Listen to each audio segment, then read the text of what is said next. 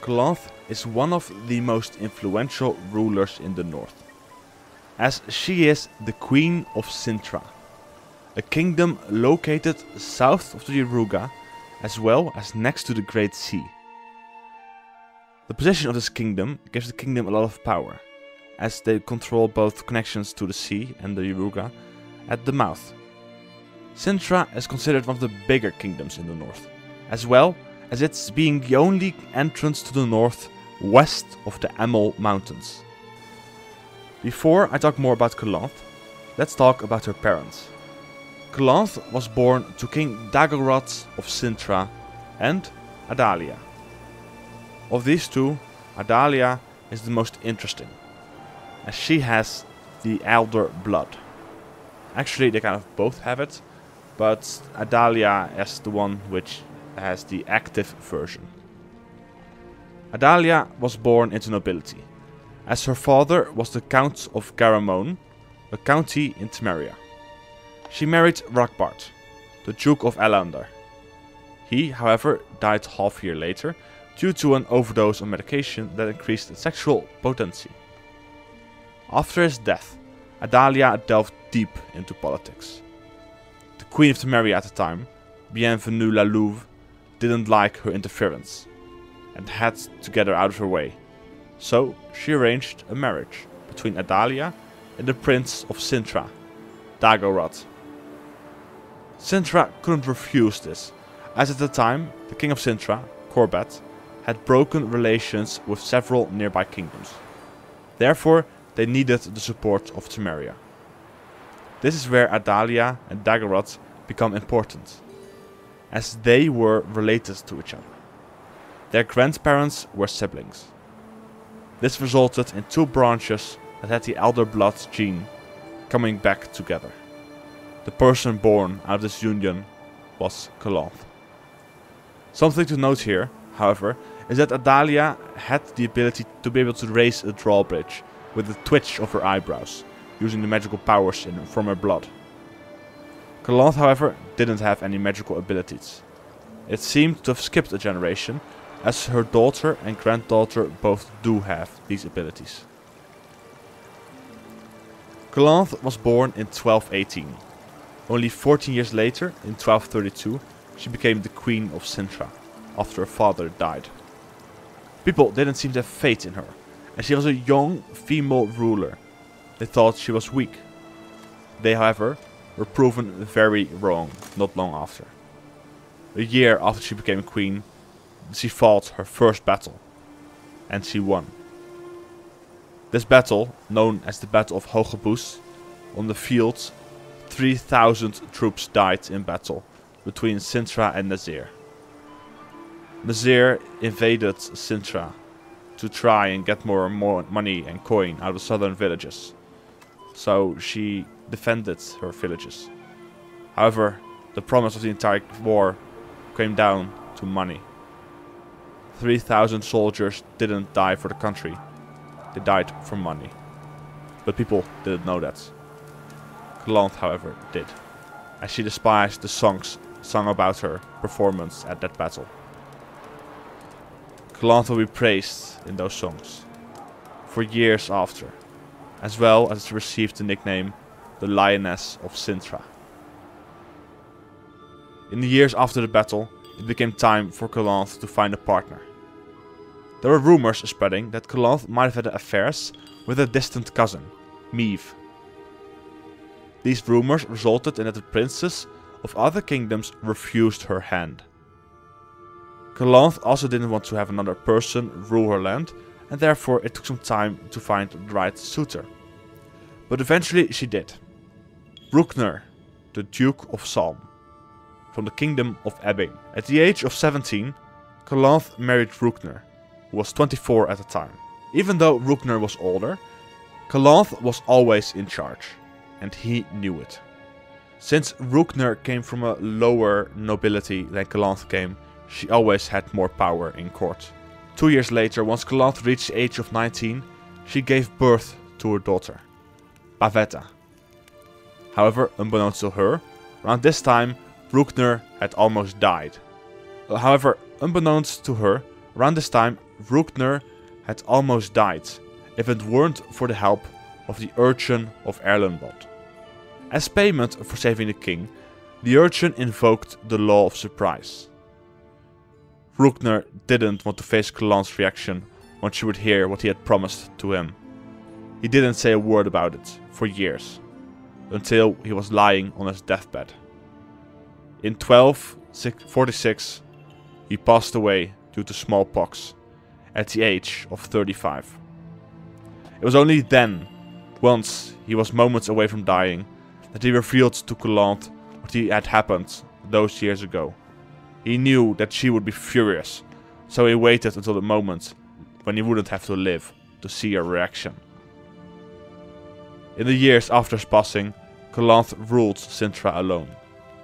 She had suitors that wanted her hand in marriage like King Ervyll of Verden and Wenslav of Bruges, but her heart went to a different man, Eist Tuirseach. They were hiding their relationship for years, until the day when Pavetta turned 15 years of age. Calanthe was aware that the urcheon would come to claim her daughter's hand. Therefore she had hired Geralt of Rivia. During the events at the throne room, Eist kind of grew slightly jealous, uh, jealous at Geralt, who kept talking with Calanthe. Kind of saw him as competition. Because he didn't know that it was Geralt of Rivia and he was a witcher. But I've talked about these events in the video of Eist Tuirseach, and I prefer not to talk about the same thing twice, so therefore I go for these events in a short summary. Urcheon showed up, people got mad at him, Rainfarn stabbed the urcheon, Pavetta almost destroys the palace of Cintra, and Calanthe and Eist declare their love for each other amidst the broken priestess of the throne. During these events, Geralt saved Duny, the urcheon, and asked for the law of surprise, because he knew, he expected that Pavetta was pregnant. After these events, Pavetta and Duny, the urcheon, married, as well as Calanthe and Eist. What is most important about these events, I think, is that they show how people respect Calanthe. It shows that people will follow her orders and how she seems to try and control people. But at the same time, you could see that it's um, there are a lot of fake smiles. She learned how to behave. It also shows that she's mastered the art of fake smiles. Everything seemed to be great for Calanthe. She had married Eist Tuirseach, the man who she seemed to love, which also created a stronger tie between Skellige and Cintra. Her daughter had given birth as well to Ciri, and Cintra seemed at peace. Due to the good relationship between Cintra and Skellige, the royal Cintrian family often visited the Isles. However, Calanthe feared the moment that Geralt would return to take Ciri to Kaer Morhen. She didn't want the Witcher to take her sole grandchild. Therefore, right after Ciri was born, she ordered Mousesack, Ermion, to go and kill Ciri, so that Geralt would never be able to claim her, to take her away. Mousesack was ready to go and kill her, as Calanthe wasn't someone you would refuse. Right before he left, Calanthe had revoked her wish for Ciri to be killed. See, it seemed to indicate that she had a change of mind. About five years after getting married, both Pavetta and Duny went on a ship to sail back to Cintra after they went to Skellige. Pavetta, however, felt there was something wrong, and therefore left Ciri with Calanthe on the Isles, who stayed a bit longer in Skellige, while they set out to sea. The ship got caught in a storm on their way to Cintra, and both Duny and Pavetta were never seen again. Calanthe was in deep mourning for a long time. She was angry at both Eist and Crach, who she blamed for the incident. Right after it all happened, Eist went to sea, searched for the bodies, but he returned empty-handed. Calanthe's anger with Crach had to do with the fact that he was the one who allowed the ship to leave, and that he should have been aware of the storm at sea. She forced Crach to swear an oath to her, and he did. This oath, if Calanthe never claimed it, it was also claimable by Ciri. Calanthe, now only having her granddaughter left, grew more and more protective of her. About the same time she started trying to marry her off to other princes. For she feared the day when of Rivia would try and take her granddaughter away from her, which would be harder if she was already married to another prince. Geralt had told her that he would return six years after he had saved Duny at the feast of Pavetta's 15th birthday. He would come to take the child to be trained as a witcher and undergo the trial of the Grasses. Calanthe didn't want to lose her and therefore decided to try and trick Geralt. She hid Ciri amidst a group of similar aged boys and told Geralt that he could pick one of the children from the group, as she really didn't want Geralt to take her. She talked to him about how the poets of the future would retell that day's events as if Geralt would have picked the right child, because the powers of destiny, and how it would be kind of like a fairy tale. But both Calanthe and Geralt knew that the world doesn't work like a fairy tale. However, she tried to talk to him about destiny.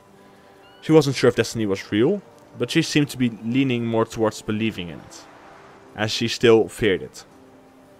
She asked him what he thought of destiny, and Geralt told her about how he didn't believe in it. Geralt made it clear didn't want to take the child from Calanthe if she didn't want it. He, however, just wanted to look the child in the eye, to see if destiny was real. With the conversation shifting to children that were to become witchers, Calanthe grew curious about the topic and wanted to learn more about it from Geralt. She had heard that most children died and never became witchers. However, the odds had proven to be far worse than she thought. She was afraid to hand over Ciri to Geralt. The chances of success seemed to be low, as there had never been a female that underwent the trial of grasses, and the thought of Ciri becoming sterile if she survived wasn't something she looked forward to, as because that would mean the end of her bloodline. Geralt, who still thought that Pavetta and Duny had a son and not a daughter, reassured Calanthe that he would not take her would not take the child away from her. Calanthe, however, seemed to be afraid of Destiny, and how she might be punished by Destiny for not giving Ciri to Geralt. Geralt kept reassuring her that if Destiny would punish someone, it would be him, because he refused to take the child. Over the course of the conversation, Calanthe and Geralt seemed to let no respect for each other. And it seemed like she no longer really disliked him after what happened after Pavetta's feast. Once it was time for Geralt to go, Calanthe told him that she had a feeling that this would be the last time they would meet. She was right. Geralt didn't see her anymore after these events. Although he could have, he didn't. Calanthe continued her rule. She tried marrying Gisiri to several princes, including Kistrin of Verden. She, however, quickly ended the engagement after she had learned of what Ervyll of Verden was doing with his attacks on merchants that he made look like it were the Dryads to try and frame them, to justify his actions. She raised Ciri over the years, until fate happened. In 1263, Nilfgaard invaded Cintra, and Calanthe didn't want to go down without a fight. As she marched her army to the southern border, to the Marnadal steppes. Here, she faced off against the invader. Both Calanthe and Eist fought on the battlefield alongside their soldiers, but luck wasn't on their side, as Calanthe was injured and Eist was killed by an arrow to the eye. Calanthe was taken back by the few surviving troops that they had to the capital of Cintra. However, the soldiers were too few in numbers. They couldn't defend the city, and therefore they took refuge in a keep, barricading themselves inside. The Nilfgaardian majors, however, made quick work of these barricades, and Calanthe with a few of her troops and Ciri were now stuck in the inner keep. Thanks to the enchantments on the inner keep, they managed to stay safe, for a total of four days. After the fourth day, Nilfgaard got inside. To save themselves from dying at the hand of Nilfgaardians, the women killed their children. And they, in turn, were killed by their husbands, who in turn committed suicide. Calanthe wanted that someone would kill her before Nilfgaard got to her. However, no one had the courage and dared to do it. To prevent being captured by Nilfgaard, she jumped down from the tower, dying upon hitting the ground. She, just like her kingdom, had fallen. Her body was never found, and two empty caskets in her memory were placed on the continent. One by the Skelligers next to Eist's grave, and one below the castle of Cintra by Emhyr, the Emperor of Nilfgaard. Calanthe died at age 45, even though many believed at first glance that she was way older due to her ashen hair. She was a proud ruler and earned both the respect from her subjects as well as from the rulers from other kingdoms. However, in the end, destiny might have killed her, for had she have given Ciri to Geralt at their last meeting together, would Nilfgaard still have invaded Cintra? And would she maybe still be queen? That was it for Calanthe. What do you think about the Lioness of Cintra? Was her death a consequence of her refusing to give her child to Geralt? Till the next video. Bye.